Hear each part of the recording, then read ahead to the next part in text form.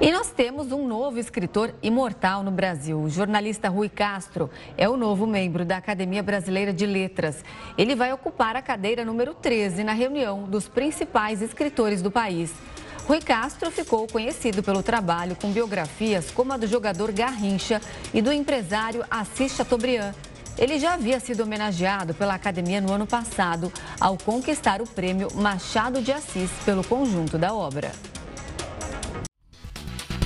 Análises profundas sobre política e economia, interatividade com o telespectador, informações essenciais com agilidade e dinamismo, diferentes pontos de vista. Vamos olhar agora para um outro ponto. Os acontecimentos que são destaques pelo país e o mundo. Obrigada pela audiência. As novidades e os bastidores do entretenimento. Grandes reportagens de diversos temas com profundidade.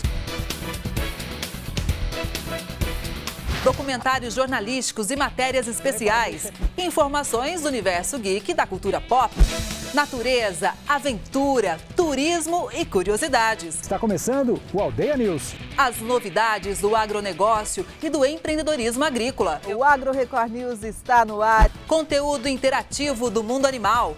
Record News, informação relevante e de qualidade 24 horas por dia.